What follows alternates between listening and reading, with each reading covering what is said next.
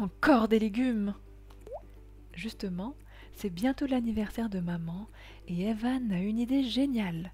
À la librairie, elle a repéré un gros livre de cuisine intitulé Mille pâtes.